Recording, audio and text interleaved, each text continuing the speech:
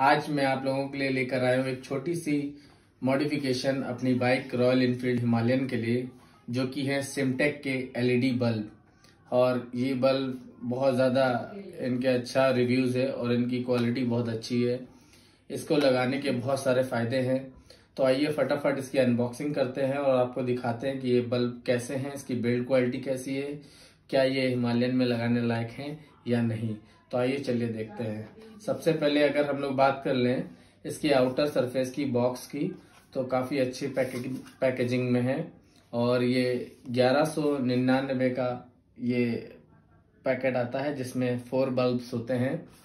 Each bulb three watts का है और 12 वोल्ट डीसी तो आइए चलिए देखते हैं ये कैसा है। और इसमें एक खासियत है इस बल्ब में कि ये 360 रिफ्लेक्शन एलईडी बल्ब है। तो आइए देखते हैं इस बॉक्स के अंदर क्या क्या मिलता है। तो सबसे पहले हमको इस बॉक्स में देखने को मिलता है ये आपका वारंटी कार्ड, जो कि सिमटेक की तरफ़ से ही है। ये मेड इन इंडिया प्रोडक्ट है। तो जिसपे ये वन ईयर वारंटी आती है। आप इसको देख सकते हैं। इस पर बाकायदा आपका सेलर का नाम और ये मोहर ये लगा रहता है। और आप ये देखिए इस तरीके की कुछ पैकेजिंग में आता है।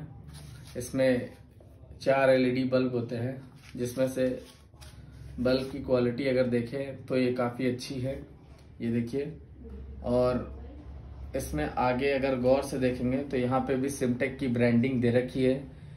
दैट मीन्स कि ये बल्ब एक ओरिजिनल है और एक एलईडी बल्ब है। जिसमें 360 कैमरे से देखिए 360 व्यू में चारों तरफ़ से एलईडी और ये अपर सरफेस पे भी एलईडी है। तो ये नॉर्मल एलईडी बल्ब से काफ़ी अच्छा है। इसकी ब्राइटनेस भी बहुत अच्छी होगी और इसको इंस्टॉल करना भी बहुत ईजी है। आइए चलिए हम आपको ले चलते हैं और इसको इंस्टॉल करके दिखाते हैं कि ये बल्ब कैसा है।